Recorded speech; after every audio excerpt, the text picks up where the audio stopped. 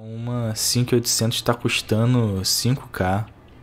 E entra lá no Mercado Livre, tem nego lá, caralho, nego 8 mil, cara, pô, vamos fechar por 7500, vamos fechar por 7500. Eu tava querendo, eu tava querendo pegar uma 6800 XT e vender a 2080 Super.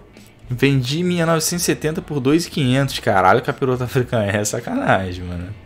Não, se eu tivesse uma 3090 eu venderia agora, sem dúvida nenhuma. Vender, botaria, anunciaria hoje. Compraria uma 6800 para ficar com a placa. 7 mil aí na 7 mil reais aí no link da Terabyte. Compraria um PlayStation 5. Vai cair o preço do Bitcoin? Eu acredito que sim, cara. Cara, o Bitcoin eu acho mais fácil você comprar e investir. Trabalhar e investir em Bitcoin. Pega ali um dinheirinho e compra. Eu, eu acho mais fácil. Para ver no que vai dar lá na frente. Entendeu? Tipo ação, investimento, cara. Mas eu vi vendendo, nego vendendo 2080 Super por 8 mil.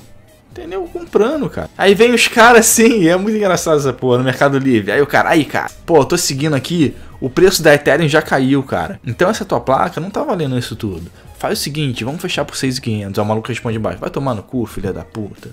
Some daqui, seu pobre do caralho. Pô, quando o maluco vem de argumentação assim, cara, fala assim, pô, não, porra, caralho, Pior que é mesmo, cara. Tu tá certo. Tu tá certo. Vou te, não quer, vou te vender por 4 mil então. Já que já caiu esse preço aí da Ethereum. Vou te vender por 4 mil. Ethereum all time agora. 3k, 3 mil dólares. Cara, eu acho que essas porra estão tomando uma, uma proporção bizarra, cara. Um trilhão de moeda diferente. Não é possível que essa porra vai vingar, cara.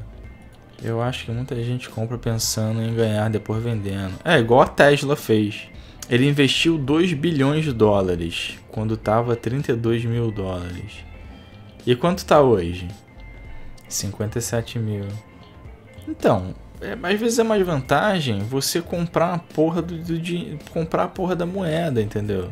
É porque eu dei mole, eu no meu, nas porra que eu fiz eu dei mole. A primeira vez que eu comprei Bitcoin foi acho que em 2008 e eu perdi a chave, perdi a carteira. Né? Depois eu comprei em 2014.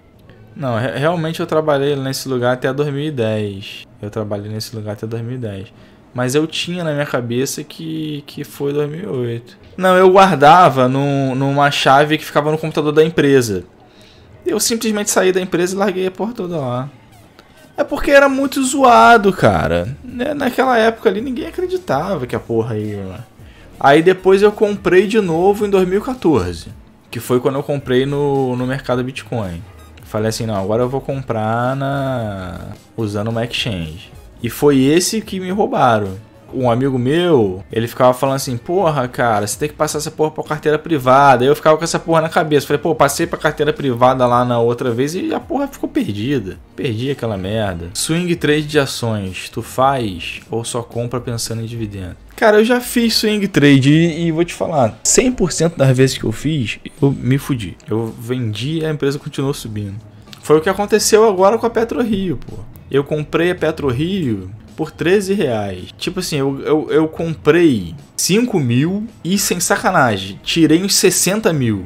Porém, eu comecei a, a vender, ela tava 70, depois eu vendia 80, depois eu vendia 90 e continua subindo, entendeu? Continua subindo. Eu comprei muito baratinho e quando bateu lá 70, 80, 90 eu comecei a vender. Eu nunca entendi esse negócio de trade. Cara, a maioria desse negócio de trade é loucura.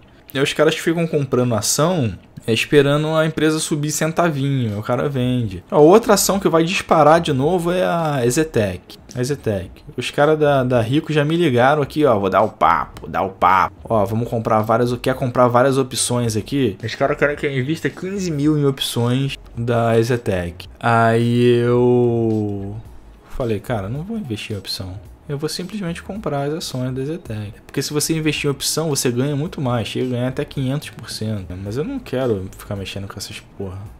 Não, acho que, por exemplo, uma outra empresa, ó.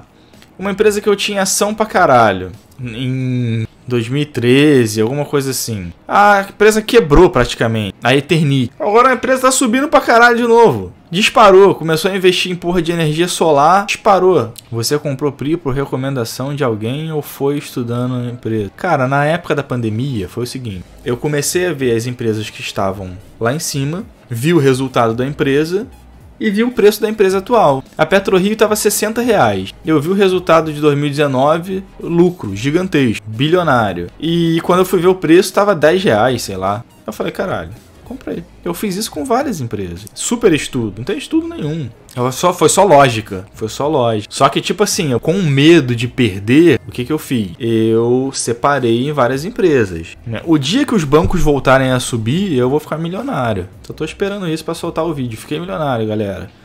Tchau. Vou ficar, eu vou começar a vender curso de como ficar milionário.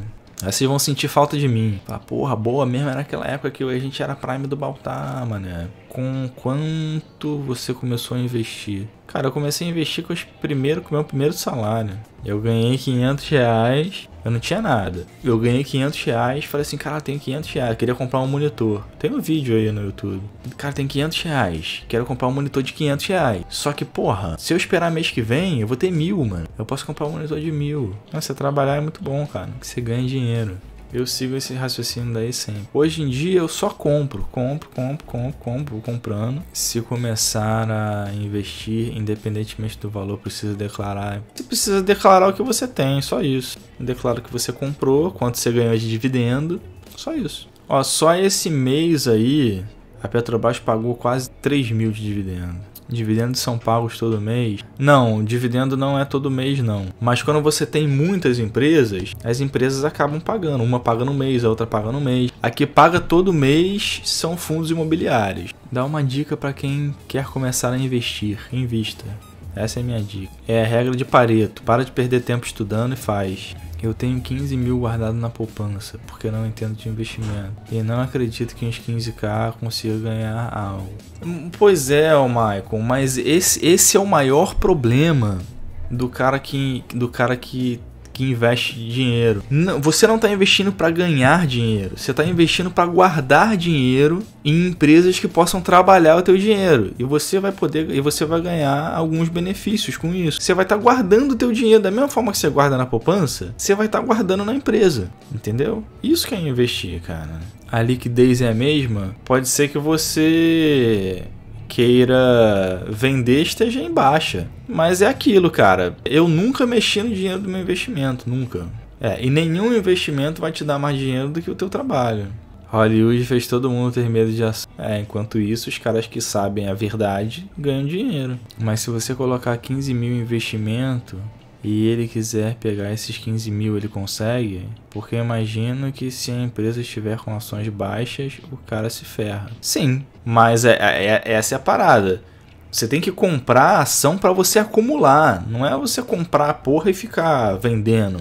Né? Porque as pessoas têm a cabeça assim: ah, comprei ação compro hoje vou vender amanhã. Eu, eu, tipo assim, o cara ganha 5 mil por mês. Aí o cara compra ação e vende porque aí o salário dele vai para 6 mil. Não, ganhei mais mil reais aqui de meu trade. Aí, pô, aí o cara vai ficar com, com esse dinheiro na, na, poupan, na, na conta corrente. para fazer o que com esse dinheiro, cara? É, você tem que acumular, é acumular, para quando chegar lá na frente, você que sabe, você que tem 18 anos, 19 anos, você sabe que você não vai se aposentar, que tu vai ganhar rola de aposentadoria, entendeu? Você poder viver, ter alguma porra para você viver. Para isso, cara. Porra, Baltar, tu não vai investir pensando em tirar o dinheiro, tu tem que esquecer da grana que tu investiu. Se tu pensar a todo momento em resgatar, tu não vai ganhar nada. Não entendi. Porra, tu não vai investir pensando em tirar o dinheiro. Tem que esquecer da grana que tu investiu. É isso aí você vai acumulando, cara, acumulando, acumulando, acumulando. Chegar uma, chegar uma hora que a parada vai, vai ficar descontrolada, entendeu? Ficar descontrolada. Vai ter tanto dinheiro lá que vai ser descontrolado. Então quem tem herança garantida não precisa investir. É, mas nada é garantido, cara. Nada é garantido. Nego não, não tá querendo passar uma lei aí para diminuir salário de pensionista. Porra, herança garantida é o quê? Cara, esperar os outros morrer pra tu não entendi muito bem essa porra, não. Eu trabalho como PJ, a empresa paga parte da grana, 350 por mês, e paga INSS para mim. Seria melhor eu mandar parar essa grana e, acionar, e adicionar mais um pouco mensalmente Com certeza. É, se bem que quando. É PJ tá fudido já. PJ, cara. Pô, trabalha como um PJ e o cara paga o INSS pra tu? Vai pra porra. Que isso, cara. Caralho. Quando for mandado embora, não vai ter direito trabalhista, vai sair com a mão na frente e outra atrás, e o teu dinheiro vai ficar preso no INSS. Mas, cara, se tu coloca lá 100k e vê que depois de um ano a parada tá valendo 80k, mesmo assim tem que continuar investindo, não consigo entender muito bem. Sim, porque você está investindo, cara, na não é no preço da ação, você está investindo no resultado da empresa né? Porque a galera fala, ah, Nvidia, PC Fact. Nvidia, preço da, da ação da Nvidia caiu, porque o Ray Trace é uma merda. Pode procurar os vídeos aí, que tem um monte. Aí eu peguei na época e fiz um vídeo. Pô, vocês estão maluco. Preço da ação caiu? Foda-se, né? Vai ver os resultados da Nvidia. A Nvidia cresce assim, ó, exponencial. Exponencial a parada. Ah, porra, faz assim. Né? Aí você você vai ver que a Nvidia só cresce, cresce, cresce, cresce, cresce, cresce, resultado atrás de resultado, bilhão atrás de bilhão, bilhão, bilhão, bilhão, bilhão, bilhão.